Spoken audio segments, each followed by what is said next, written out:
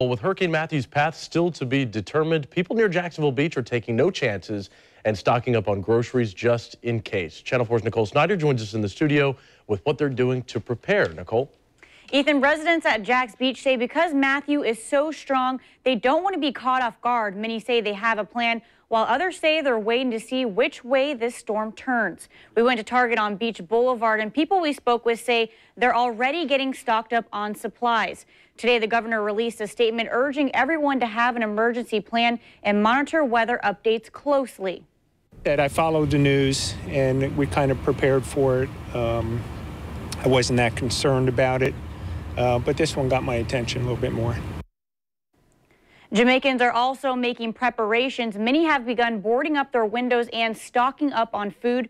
The storm still a couple hundred miles offshore. As of Saturday evening, the waves had picked up along the country's coast as leaders prepared for the worst. The resilience of Jamaicans will be demonstrated at the end of, the, of this episode.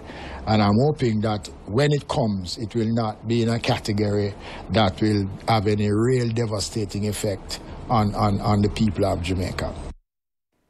Here locally, emergency officials in all 67 counties in Florida will have daily conference calls as we continue tracking Matthew. Ethan? Thanks, Nicole. And don't forget, when we're off the air, we are still tracking Matthew. Download our free Hurricane Tracker app and turn on push alerts for instant updates. Just search WJXT.